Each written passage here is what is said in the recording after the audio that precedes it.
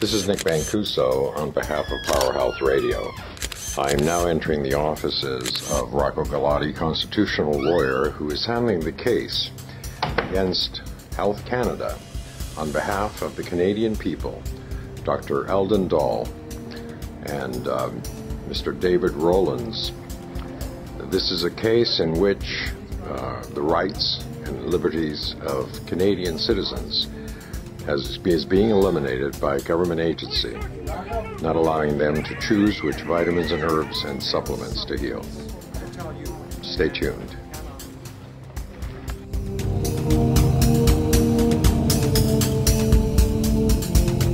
And so basically, uh, what this lawsuit is about is about the arbitrary and targeted designation of all foods as drug, drugs, which is wrong. Secondly, the select arbitrary targeting of the small independent uh, dietary food supplement and vitamin industry. Uh, and thirdly, the enforcement mechanisms by which they are sending the message that we will treat you like the Colombia drug cartel if you sell these products uh, in a way that we don't uh, prescribe. And the way they prescribe is completely illegal and arbitrary. That's the claim.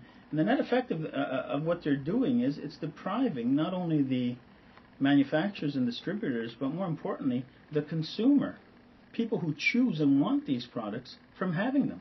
And it's depriving the consumer the right to know about the products because they can't make any claims, health claims, whether or not they have a license.